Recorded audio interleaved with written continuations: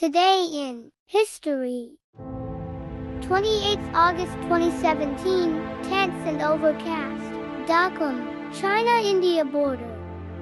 Dear Diary, Today was a big day at the China-India border. Everyone is talking about the Doklam standoff that started when China wanted to build a road in a place that belonged to both Bhutan and India. It made everyone worried about a fight happening between the two countries.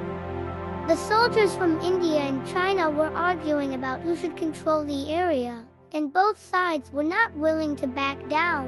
It all started when Chinese soldiers tried to extend a road in Doklam, which is a place that both China and Bhutan claim as their own. This all came from a long history of disagreements between China and India about where the border should be. It has been a problem for many years, and today with soldiers on both sides not budging.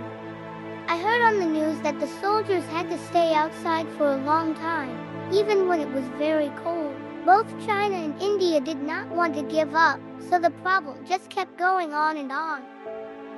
Finally, after talking a lot with each other, China and India agreed to pull their troops out of Doklam. It was a relief for everyone because it meant that the tension and worries about a big war happening went away.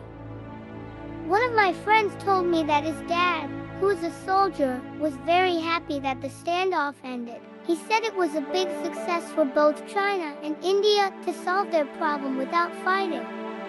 I think that this event will be remembered because it showed how important it is to talk and listen to each other to solve problems. I hope that in the future, countries can always find ways to solve disagreements peacefully, just like China and India did in Doklam.